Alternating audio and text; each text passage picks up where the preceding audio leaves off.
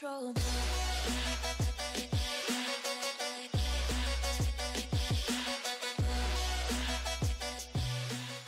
What is going on, you quality lot? Quality XA here today, and today I'm pretty much just bringing you guys a brand new video on Destiny. So today we are going to be talking about some brand new stuff for Crucible. So first things first, we are going to be talking about one of the, or possibly two Crucible new maps.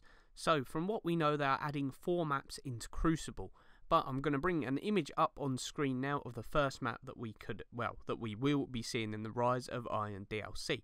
So as you guys can see, it looks like similar to the Black Garden. It's got all of the stone, all grass around it. Looks actually quite a nice map, similar to the Burning Shrine, if I'm not mistaken. Um, just how it's got the outside and inside, and it looks to be a very, very big map. Um, starting out, on this outside post, it looks almost like a choke area. So there, that'll be your point of action almost. There'll be a lot of people in that middle point and coming from the left and right. Now I could be wrong here. This could just be like a little outside bit of the map. But from what it looks like, it looks like this could be a main choke point for all of the maps where most people will go and get a lot of kills.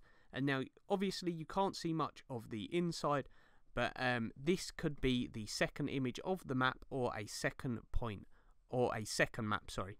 So as you guys can see, there are some Guardians tethered here and it does look similar.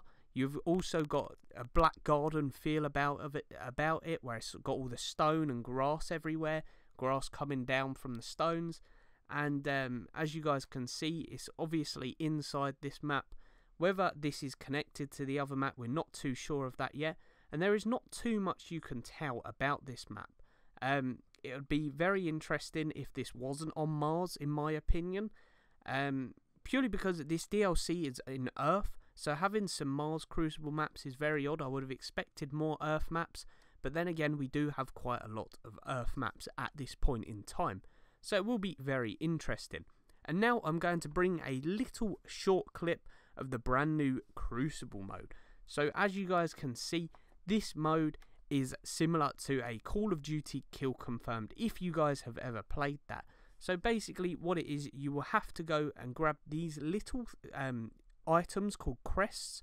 And now crests drop from kills. So if you kill somebody, someone will drop a crest. And you or your teammates can grab this crest.